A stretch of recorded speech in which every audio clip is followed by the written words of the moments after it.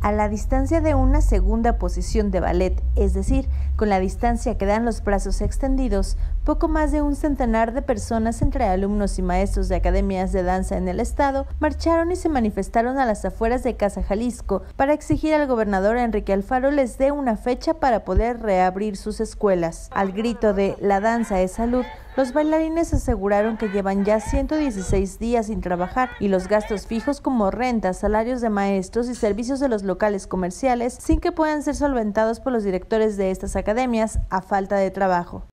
Porque nos digan un, un, un porqué y que nos digan para cuándo podemos regresar a nuestras clases, porque la verdad ahorita tenemos todo parado y nuestros gastos siguen rentas, luz, pago de maestros y vemos que está saturado todo, todo, todos los lugares, pero en, en la cuestión de danza, que es lo que te da, nos dicen hagan ejercicio, pero ¿Cómo hacemos ejercicio si nos tienen cerrados todas esas puertas? Porque la verdad es que para nosotros es este, muy bueno estar pudiendo ayudar a la gente a que tenga una mejor condición física para que pueda tener una mejor salud, para tener un bienestar y pues ahorita no lo hemos logrado porque tenemos todo cerrado.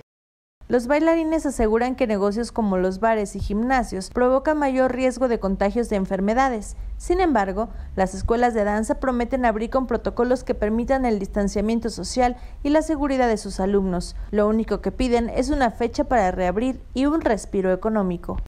Con tan solo un muestreo de 177 academias de 17 municipios, con una derrama económica de, de 5.6 millones de ingreso bruto,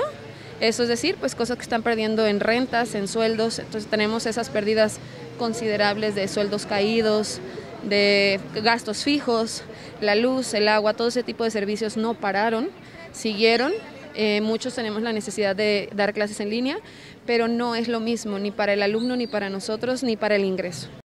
Al llegar a Casa Jalisco, los manifestantes pidieron a Enrique Alfaro a través del altavoz que, así como reciba entusiastas del fútbol, recibiera a los representantes de la cultura y la danza, aunque eso no sucedió. Los bailarines fueron atendidos por personal de la Secretaría General de Gobierno, quien recibió las peticiones. Al finalizar, alumnos y maestros improvisaron una clase masiva de salsa e invitaron al gobernador de Jalisco a asistir a una clase de baile en cualquiera de las academias. Con imágenes de Antonio Campos, señal informativa, Alicia Presa.